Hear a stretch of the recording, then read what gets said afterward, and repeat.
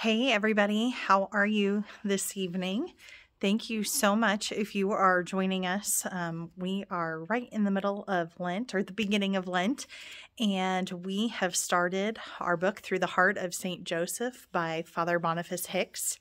Um, we have just finished the first chapter. I hope you guys have enjoyed reading along with this, and um, let's get started. So, as we um, started to go through this first week, we really examine what Joseph's protection for his family was all about.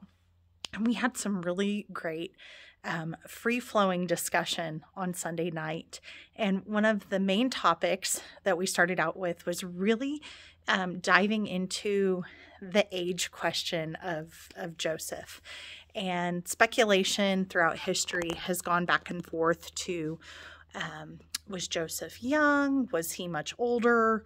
Um, and so we really kind of talked about that for a little bit on Sunday night. And I found it interesting that even though some people thought Joseph was older, what we considered maybe older was late 20s, early 30s. And really, for St. Joseph to just have that um, more mature mindset um, to really be one to step up and lead Mary and Jesus um, in this Holy Family journey that we see. So, um, being in my 30s, I'm going to say, hey, this was great. I still think he's young. So, um, leaving that up to a little bit of interpretation, because obviously it's one of those mysteries we don't fully know.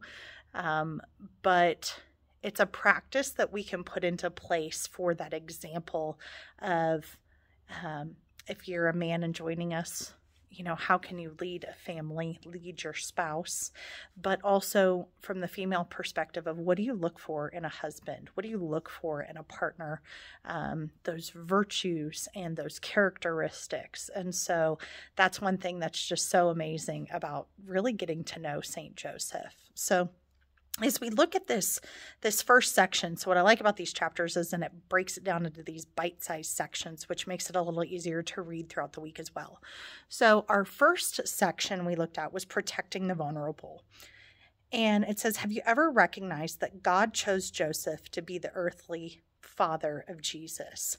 Meaning did you realize that he was worthy enough? Did you make that connection of joseph's true humanness out of the Holy Family, he's going to be the most relatable to us because he is not without sin like Mary and Jesus.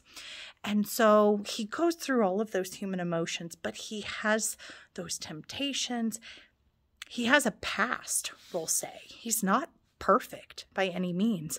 And so, have you really thought about the fact that within this holy family, that God gave us somebody even more relatable um, to look to. And it's the person that is guiding this family. And so there's so much on his shoulders.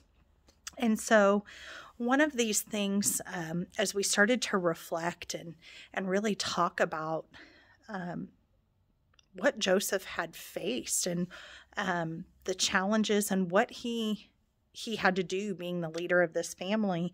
It says, Have you ever been faced with a decision that others may question, but that decision requires you to offer protection for another? And so, very much so, that is what Joseph had to do multiple times. And we start to explore um, tidbits of these dreams. Um, and the biggest and the first, of course, is you shall name him Jesus. Um, we talk about how Joseph is supposed to pick up with his family in the middle of the night. Um, so we look at these things and um, it really leads into our next section that we explore in this chapter, which is the weapons of obedience. And so we talk about what are the weapons of obedience. Um, or what are the weapons that God gave to, to St. Joseph, which would be obedience and humility. And this is where stuff got really interesting in our talk on Sunday. And I'm sorry, I don't have my stand if my phone's shaking a little bit. Um, but we as humans having vulnerability um, within the group a couple of us really stepped out of our shell and said ooh obedience gosh that's that's a hard one you know and um, wives love and obey your husbands these types of things and so we were talking about this and one of the members of the group had this amazing um, example for us all to practice obedience this week. And it's so simple, but boy, did you have a little grumbling across the table. And it was practice driving the speed limit. You want to talk about obedience. You don't get to go two over, you don't get to go one over, you don't get to go 10 over. Practice driving the speed limit.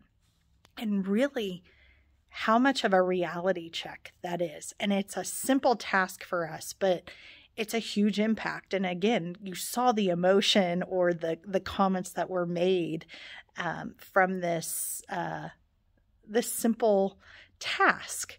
And so, um, this past week, if you guys have talked to anybody in the group or, or seen in the group chat, you've seen us mention, like, how's it going driving the speed limit this week? And so, it's one of those humbling exercises. It's one of those obedient exercises. So, as we continue to work through this week, if you haven't practiced this, I highly encourage you um, practice driving the speed limit. And if you already do, I'm proud of you. Way to go. You're doing awesome. Um, find something else that may be a little bit of a challenge for you um, in the, the obedience department. And so, as we start to talk about, um, again, these weapons that God has armed Joseph with, um, it says, How can we learn from Joseph's own humility and obedience and put it into practice in our own lives? So, again, the speed limit, if you've got another way you want to practice. And then we start talking about St. Ignatius's teaching of discernment and really um, this, this uh, methodological. Practice that we can put into place as we um, try to figure out the things that we need to be doing. And so the first rule is to remember the principle and the foundation. So, what is the goal? What are we doing? Why are we trying to get there? Two, what's the process of clearing away the obstacles and attachments of sin? So, what's going to get in our way? What's going to hinder us? And how can we push through those things? And the last is when the heart is like a balance at equilibrium, willing to accept whatever God brings, it is possible to make the significant choices that set the direction for our lives. So, when we go through this Ignatian um, process of discernment, we can really um, utilize these steps to come to the right decisions or the best decisions or the godly decisions, things that we may struggle with. And it allows us to stop and take time.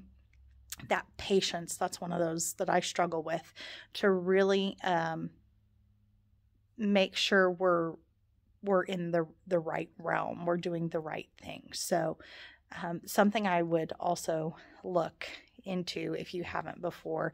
Um, but St. Ignatius's um, his teaching of discernment. Um, there's a really great book that we read last fall, um, Love Him Evermore, that puts into to play some Ignatius teaching, and um, it's a great one. So, okay, so now we're moving on to this next section of tenderness. And so with tenderness, um, I just found this definition, this um, Greek um, root of tenderness, and talking about tin and tendons and stretching. And we had this beautiful um, highlighted section. Let me find it here. It's on page 22. It starts on page 22, and it's from Pope Francis. And he says, The one who is tender does not act impulsively and snap, but stretches in patience and waits on the one who is in need. The tender person does not defeat the enemy through reaction and revenge, but patiently absorbs the violence like a house built on rock that weathers a storm. This is the father who holds a pouting child close to his heart while he absorbs the blows of pain and anger erupting from a frightened toddler. Slowly, the anger plays itself out and the child collapses into arms of love. Oh, that, that, um, that's one that'll make you stop and really think. And again, we had some really great discussions about this. A lot of us have been there with the toddler slapping you, um, hitting you, especially during Mass. And I mean, you have to bite your tongue. You really have to um, withstand what it is that's being thrown at you. And sometimes it's the blows of life. And um, for a lot of us, toddlers is just a really relative image um, and experience we've all been through. But we've all had those um, things that hurt us or people that hurt us. And this tenderness that St. Joseph exudes is really a teaching for us to learn how we treat others and how we um, how we take that pain on.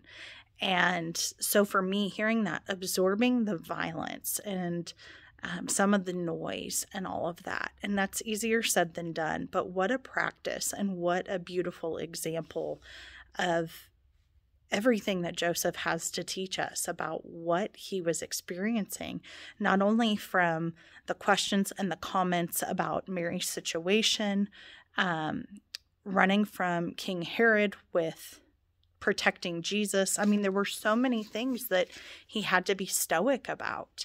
And so, taking a page out of his book, out of this tenderness and the tenderness that he showed for his family, um, is just beautiful. So, um, next, we go into the veils of mystery. And this one, um, again, was such a wonderful, beautiful section to talk about. Um, some great dialogue that went on during this section about the sanctity of marriage and how Joseph not only protected Mary with this this veil but protected Jesus as well and by choosing because Joseph made the choice to stay with Mary. Joseph made the choice to protect this family that was starting and to protect Jesus. And so we talk about this veil of mystery. Um, St. Joseph kept the mystery of Mary veiled beneath his firm presence and loving care. Um, so not only did he he use himself spiritually, but physically, he offered his protection to Mary, and by his love, he offered this protection and this veil um, for his family. And it says, Do you think this section and its description of Mary and Joseph's marriage would benefit newly engaged couples? Um, what, if anything, would have helped you be better equipped going into marriage with this type of knowledge? And so we started there, but where the group took it was really that's one piece of it, but we almost want to back up and and talk about this at an even younger age and what again to look for in a partner, how to act as a partner, um, what that truly means. And so, again, it was just um, really bringing home that sanctity and um, the relationship that why we enter into the covenant of marriage with our spouse. And so, um, something to think about. If you are married, how do you increase that bond? What attracted you to your spouse? And if you're not married, what are those things that maybe you need to um, consider with looking for a partner and a spouse? And um, eventually, that that other half to potentially raise children as well. And then we go into Joseph, who is most chaste. And again, um, we start to talk about St. Joseph hesitated in taking care of Mary because he was aware of his own weakness in light of the greatness of this task. What would have happened if Joseph's weakness, his humanness, won out over the task at hand? And that task of being chosen for Mary and Jesus and being their protector. And can you imagine? Um, part of me wonders if they would have even made it. I mean, the amazing thing of being able to have Jesus walk this earth for 33 years, which still just seems like such a short, short time. But if it was even less, if Joseph had abandoned Mary, if he had divorced her quietly, um, who knows where she would have been left, what she would have done. Um, it's just a, a scary thing because Joseph had that free will to choose what he wanted to do. And so, the last takeaway we need to remember in this chapter is how can we listen like Joseph? How can we be taught to be led by God? Because God is constantly giving us signs, God is constantly speaking to us. We have the decision, we make the decision to listen or do we let all this other noise get in the way of what he's saying? Because he's not going to force himself upon us. Um, and as we've learned in another situation um, or another book that we read, he's passing by, he's there, but he's never going to push himself upon us. But we have to reach out in turn as he's passing us by. And that's exactly what St. Joseph um, teaches us from these dreams that he's receiving. We can choose to listen to what God has to say to us, or we can turn away and think that we know best. So, I hope you guys are enjoying this book. I hope that you are loving the daily devotional. Um, and I just, I can't wait to meet with you all again on Sunday and go through the next chapter and hear what you all have to say. So I hope you have a great rest of your week, and I'll be talking to you all soon. Bye, guys.